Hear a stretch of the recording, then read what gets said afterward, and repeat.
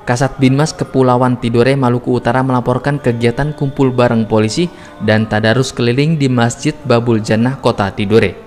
Kegiatan tersebut bertujuan untuk menyampaikan pesan Kamtipmas kepada Toga, Thomas, dan tokoh adat agar dapat menyampaikan kepada masyarakat terkait pemahaman radikalisme dan aliran-aliran yang dapat menyesatkan.